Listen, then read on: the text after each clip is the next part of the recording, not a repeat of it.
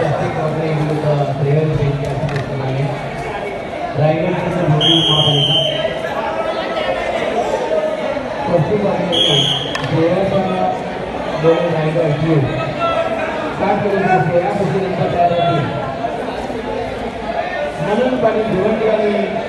मोस्तकी माणसाने मुंबई शहर